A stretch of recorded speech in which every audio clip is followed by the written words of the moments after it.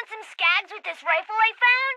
Absolutely not, young man. You'll blow your head off. Now get back inside and do your chores. Oh, shucks. At this rate, I'll never get to kill anything. Holy rackspit! It's Handsome Jack! Damn right it is. I just came back from rescuing the space fixins of Eden 6, and I thought I'd check in with my number one fan. Hey, Justin, why the long face? My mom says I can't go hunting.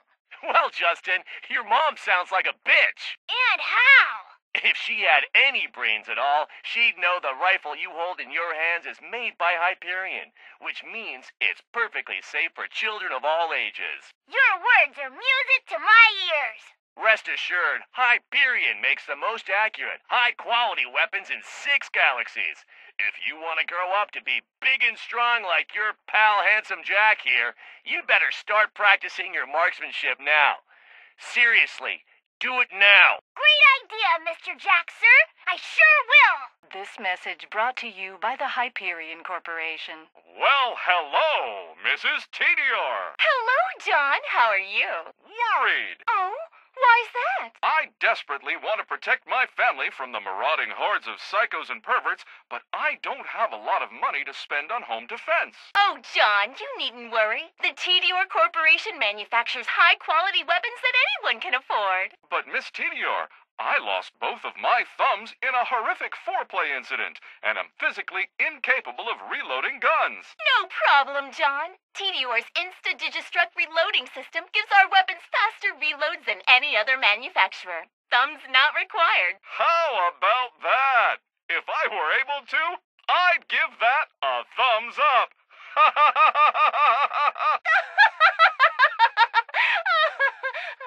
I can't hold child. The following message from Mr. Torgue does not reflect the opinions of the Torgue Corporation itself. If you don't buy Torgue guns, you're fing retarded! The previous message from Mr. Torgue did not reflect the opinions of Torgue Corporation itself. If killing is your business, you buy Dahl.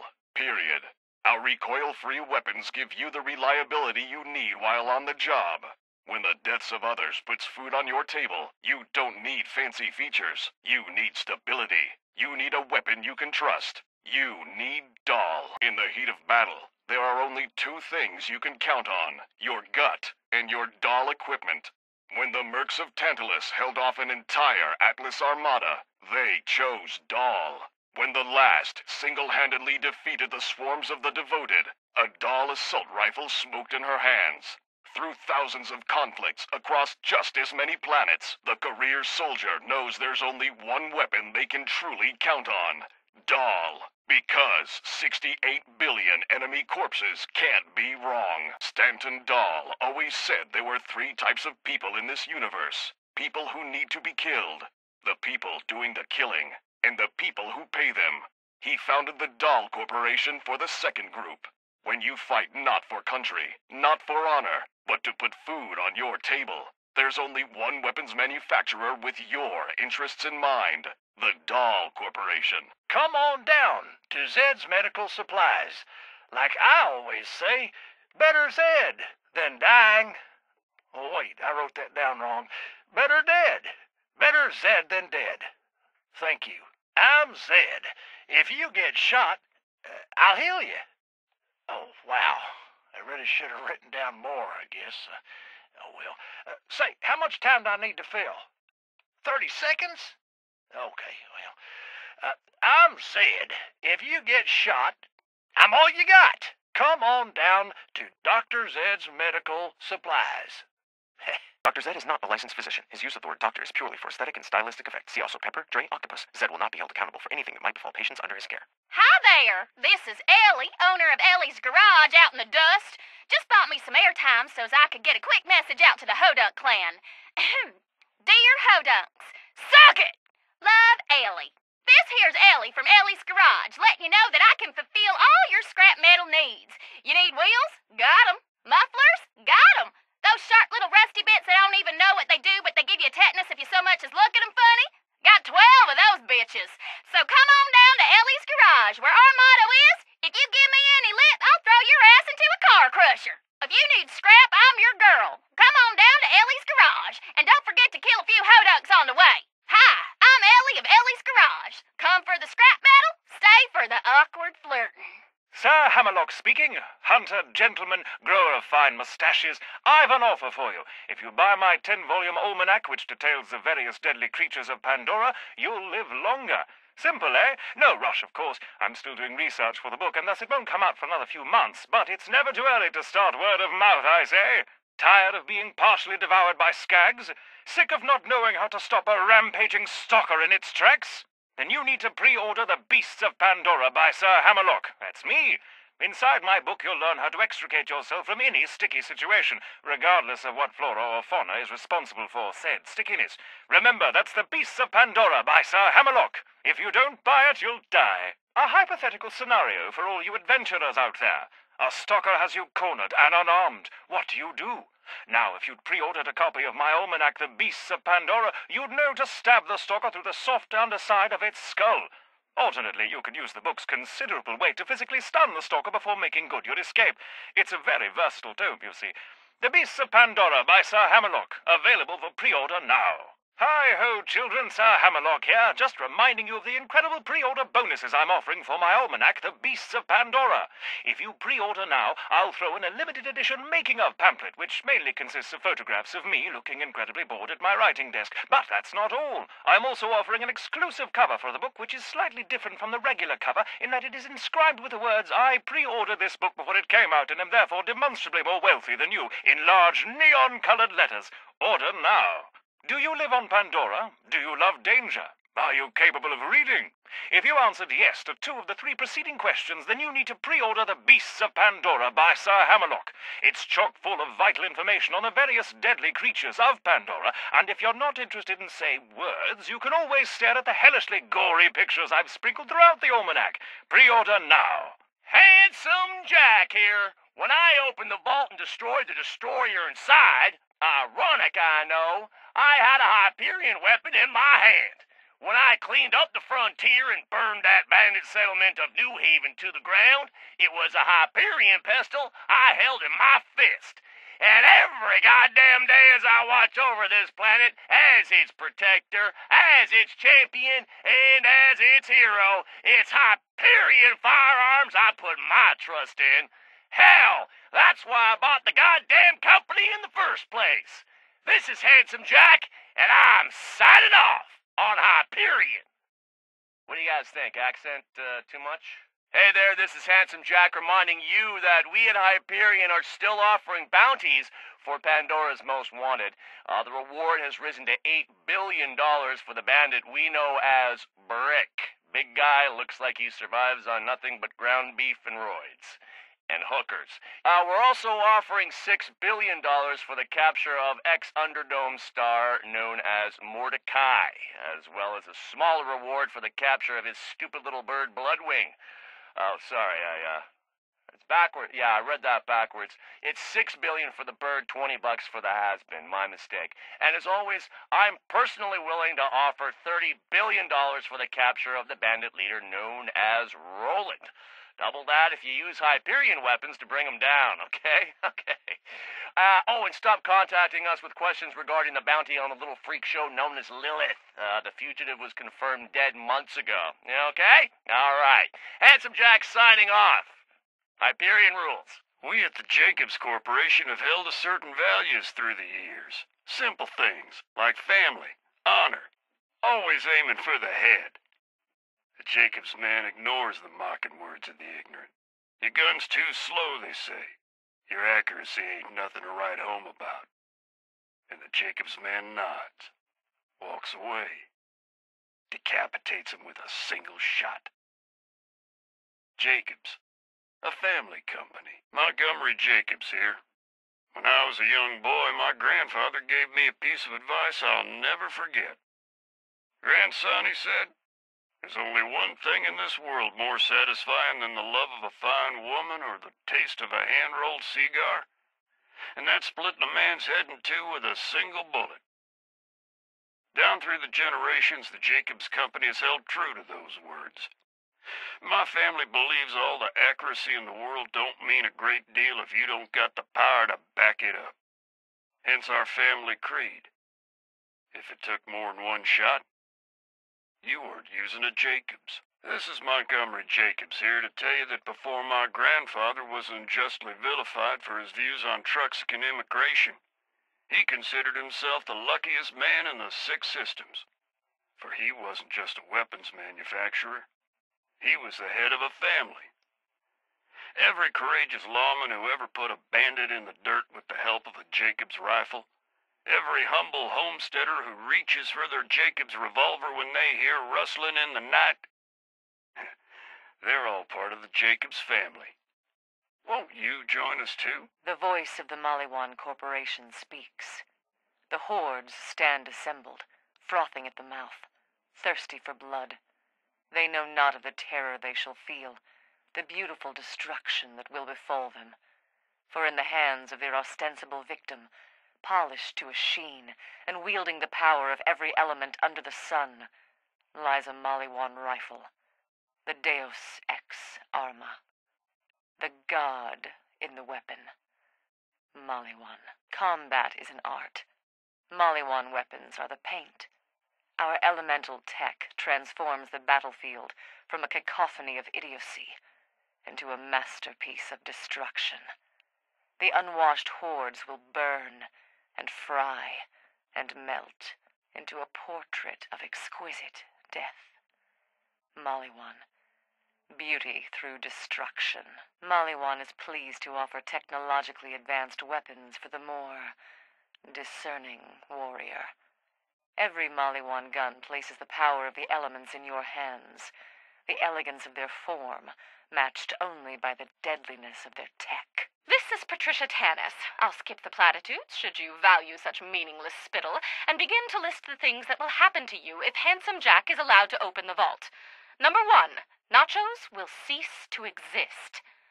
Number two, now that you're no longer knuckle deep in the orifice of your choosing, seriously, nachos are gone. Number three, I'll be dead. Though I know you value my well being less than nachos. Hmm, I had a thousand forty six more reasons, but I'm being told I'm out of time. As the end of the world approaches, I'm allowing suitable mating material to submit to me headshots and various table furniture of your choosing. When mailing in furniture, please include a list of any of their likes or dislikes, in addition to any varnish allergies you are aware of. What? Me and the Ottoman are just friends. Unless he said something. Did he say something? I swear he can be so crazy. LOL. This is Tanis, outies. This is a blanket announcement. I spent last night becoming inebriated and left 73% of my clothing in an undisclosed location within Sanctuary. Should you come across the 12 socks and two oversized pairs of archaeology trousers, please leave them on my doorstep with a considerable effigy and a thoughtful letter of apology. I, Patricia Tanis, preemptively accept your thank you. This is Crimson Radio, hitting your ears throughout the years, reminding you that just 'cause you gotta vanish somebody doesn't mean that you can't be nice about it. Crimson Radio's got a message for all the lovely killers in the wastes. Keep a bullet in the chamber and your sword at your side, but keep your mind wide open and your head held high. This is Crimson Radio, the voice of the frontier, with a cautionary tale. Take your finger off the trigger from time to time. Old buddy of mine took out an entire bandit camp, then got blown up by a barrel he forgot about. Poor boy had nothing to second wind off. Stay safe out there, babies. Crimson Radio's here with three quick tips for creature killing. Stalkers, kill their shields. Skags, aim for the mouth. Humans, aim for the head. This is Crimson Radio, keeping you sane in the Pandoran wastes. It's a harsh world out there, gunslingers. Don't let it beat you. Another word of wisdom from Crimson Radio. Even when there's a fool in your crosshairs and murder on your mind, just remember, it costs you nothing to be kind. Crimson Radio urges you to keep a shock weapon if you're heading into stalker territory. You can't kill what you can't see.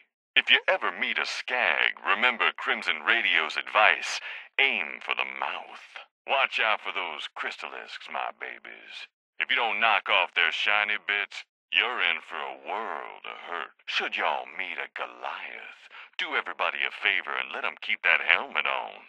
You wouldn't like 'em when they're angry. We've got some great music coming up on Crimson Radio, but now, some messages. This is frequency 866, which means you're listening to Crimson Radio.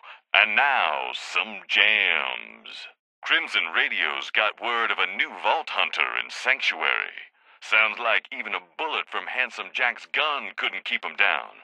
Remember that when things get tough, my brothers and sisters. Wherever you are and whatever you're doing here, remember to stay strong. Crimson Radio with some interesting news. Someone we'd all missed is back in Sanctuary. Without getting into specifics that make the H-Men reach for their guns, I think I speak for us all when I say, Welcome back, beauty. Congratulations to the Vault Hunter who rescued our man Roland from the claws of Handsome Jack. Some people fight the power. That Vault Hunter put a bullet in its eye. Crimson Radio out. Sounds like somebody blew up a Hyperion train out in the Tundra Express. Cool. Crimson Radio out. This is Crimson Radio offering its best wishes to our friends in Sanctuary. Jack may have hit you, but that don't mean you can't hit him back. This is Crimson Radio asking for a moment of silence for the killingest bird in Pandora. See you on the other side, Bloodwing. Sounds like the Slabs got a new recruit. This is Crimson Radio asking you to go easy on 'em, boys. We all know how much you Slabs love your hazing rituals. Rumors of Handsome Jack's assassination came pouring in to Crimson Radio, but stay cool, my babies.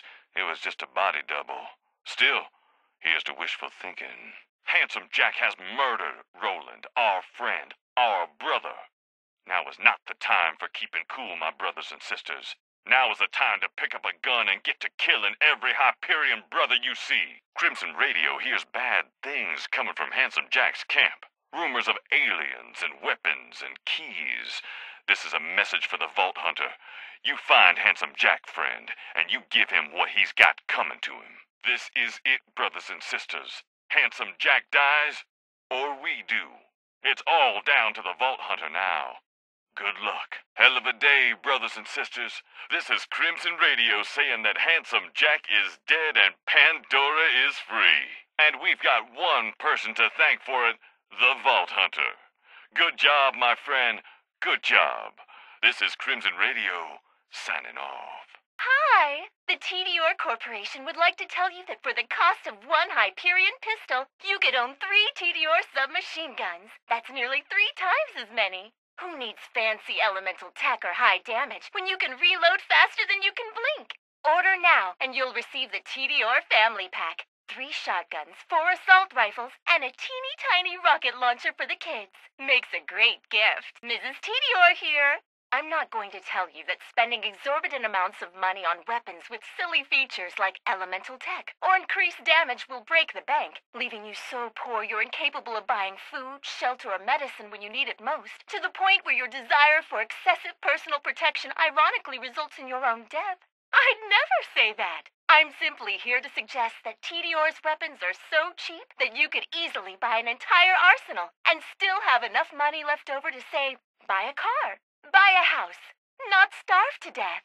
Tediore, because breaking your enemies shouldn't break the bank. Torgue Munitions has a pop quiz for you, Skaglacker. You're surrounded by a dozen steely-eyed bandits. Do you A. Blow them to smithereens with your Torgue assault rifle? B. Run and take cover? Or C. Calmly get them to put their weapons down? And you know the answer is A. by goddamn Torgue gun! Did you know that 97% of all living things on Pandora aren't exploding right now? That's bullshit! Bator! This is Comrade Vladof, the voice of the revolution. Now is the time to strike. Use our high fire rate weapons to topple the oppressors and take back your rightful freedoms. Listen well, brothers and sisters. If your finger ever leaves the trigger, their boots shall never leave your neck. In these trying times, the Vladof Corporation is certain of one thing and one thing only. They are coming. Coming to take your food, your home, your loved ones. Perhaps not today. Perhaps not tomorrow. But soon. And as they sharpen their swords and smile through their teeth at their subjects, Vladof has only one question to ask. Will you be ready to fight back? The Vladof Corporation reminds you that there are only two types of people in the universe the oppressors and the oppressed. The oppressors cannot be swayed with words, cannot be bargained with. There is only one way to stop your corporate dictators bloody, bloody revolution! You must drown your oppressors in a storm of bullets! You will bury them under an avalanche of lead! And as you topple their towers of money and lies, they shall look down into the mobs of the disenfranchised and see one brand of weapon in every hand. Vladof! Vladof! Vladof!